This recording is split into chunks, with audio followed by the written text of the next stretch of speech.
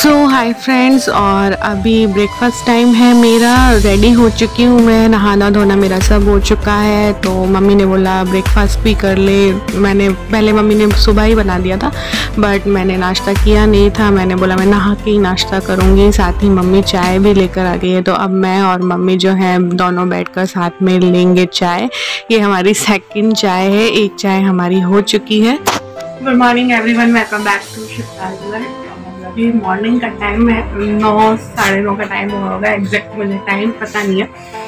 आज मैं थोड़ा सा लेट नहाई हूँ क्योंकि मैं थोड़ा लेट उठी थी। सिक्स थर्टी मम्मी ने उठाया तब को और मुझे फिर भागा दौड़ी होगी तब को क्योंकि सात बजे के बाद जस्ट निकलना ही होता है। फटाफट से नहलाया, तैयार किया। फिर मैंने सोचा, मैं अपना काम बाद में करूँगी। तो अभी मैं नहा ली हूँ रेडी हो गई हूँ, और अब मैं जाऊँगी ऊपर अपने रूम में। उसे सेट करने के लिए, क्योंकि मैंने उसे बहुत ज़्यादा बिखेर दिया है। और बेड शीट तो आप मानेंगे नहीं, पता नहीं मैंने कब से चेंज नहीं किया है तो आज बेड शीट भी उसका चेंज करूँगी और थोड़ी बहुत मेरी बुक्स वगैरह इधर उधर हो रखी है, वो भी सेट करनी है। तो चलिए, ऊपर चलते हैं रूम सेट कर लेते हैं।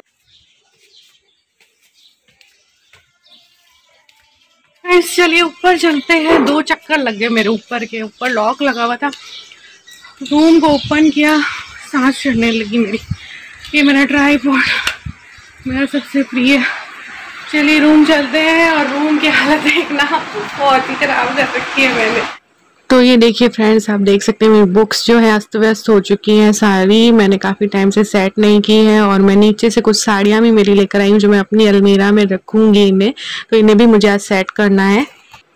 और ये अलमारी आप लोगों ने देखी होगी, पहले तीन से चार महीने पहले मैंने ली थी, लेकिन अभी तक मैंने इसमें कोई प्रॉपर अपना सामान सेट नहीं किया है, क्योंकि मैं साड़ियाँ ज़्यादा लेके भी नहीं आई हूँ वहाँ से। नॉर्मल बिल्कुल सिंपल सी जो साड़ियाँ हैं वही लेकर आई हूँ। मेरी जितनी भी हैवी साड़ियाँ हैं, वो सारी वहीं रखी हैं। तो यहाँ पर तो बस कॉलेज जाने के हिसाब से नॉर्मल सी जो सिंपल साड़ियाँ होती हैं ना, वही मैं लेकर आई हूँ। तो इन्हें आज मैं यहाँ पर सेट कर दूँगी, ताकि मम्मी का जो नीचे वाला रूम है ना, वो थोड़ा सा सेट हो जाए। तो अभी मैं ये वाला बेडशीट लगाने वाली हूँ अपने बैंड पर और ये जो बेडशीट है, मम्मी ने मुझे जब ये न्यू बैंड दिलाया था ना तब भी मुझे बोला था कि ये वाला न्यू बेडशीट लगा ले। बट मुझे उस टाइम लाइट कलर का जो बेडशीट है, वो लगाना था क्योंकि मुझे लाइट कलर के बेडशीट ज़्यादा अच्छे लगते हैं। मतलब सुकून मिलता है लाइट कलर के बेडशीट में।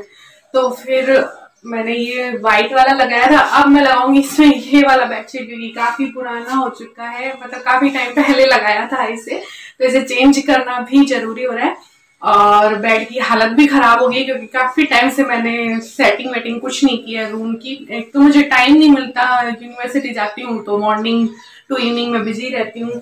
दूसरा अभी मैंने ब्रेक भी ले लिया है वन वीक का एटलीस्ट मैं घर पे ही हूँ अभी।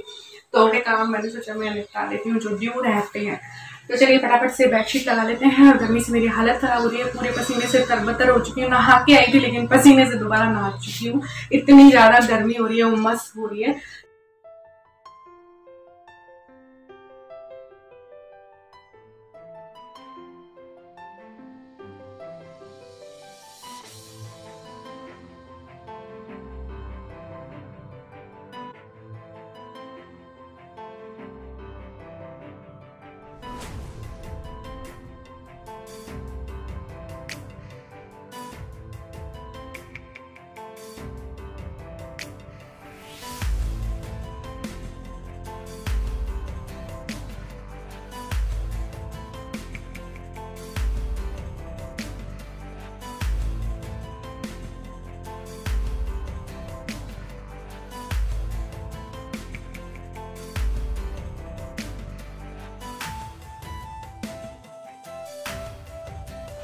बेडशीट वगैरह चेंज करने के बाद अब बारी आ जाती है क्लीनिंग की तो इसकी डस्टिंग भी मैंने कर दी है, झाड़ू भी मैंने लगा ली है और अब मैं यहाँ पे पोछा लगा रही हूँ और अभी बारिश का मौसम चल रहा है तो थोड़ा थोड़ा पानी भी इस रूम में आ जाता है तो अच्छे से मैंने इस रूम को क्लीन कर दिया है और अब मैं आपको इसका पूरा लुक दिखा तो ये देखिए ओवरऑल लुक रूम का बेडशीट भी काफ़ी अच्छा लग रहा है और बुक्स वगैरह भी मैंने अरेंज कर दी है। थोड़े बहुत ही अरेंज किया, ज़्यादा तो नहीं की है तो पूरा रूम मेरा सेट हो चुका है। तो ये था मेरा आज का छोटू सा व्लॉग आप लोगों को कैसा लगा मुझे कमेंट सेक्शन में ज़रूर बताइएगा। Bye take care